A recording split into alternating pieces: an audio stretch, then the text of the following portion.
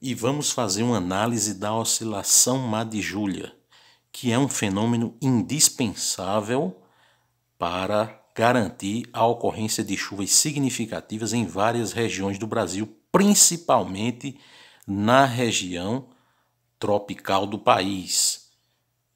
As regiões mais impactadas são o norte e o nordeste, mas o centro-oeste e o sudeste também são bem impactados. O sul do Brasil é mais impactado pela oscilação antártica. Então, em 1 de abril de 2023, a fase da onda planetária de energia em altos níveis na troposfera, associada ao sinal negativo para a chuva da oscilação de Júlia, ela está mais intensa. Então, a perspectiva é de que até o dia 3 ou 4, essa onda continue inibindo chuva de forma significativa em boa parte do Nordeste.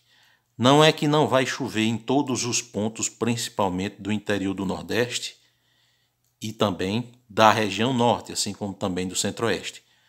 Mas a intensidade dessa onda, que é forte agora, inibe a convecção, que é o fenômeno físico responsável pela formação das nuvens de chuva. Então, até o dia 4 aproximadamente, a inibição de chuva, ou em outras palavras, da formação de nuvens cumulonimbus, que são as nuvens de tempestade, estará intensa. A partir do dia 4, a chuva volta de forma mais significativa principalmente ao semiárido do setor norte do Nordeste, que no mês de abril está na sua estação chuvosa. Na região norte, a chuva continua.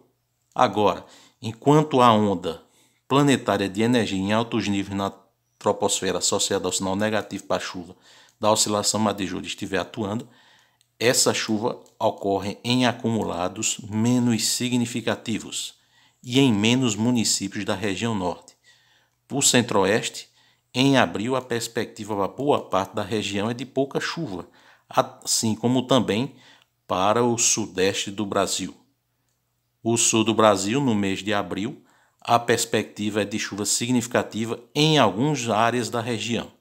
Para boa parte da região, a perspectiva para o mês de abril também não é de acumulados muito significativos.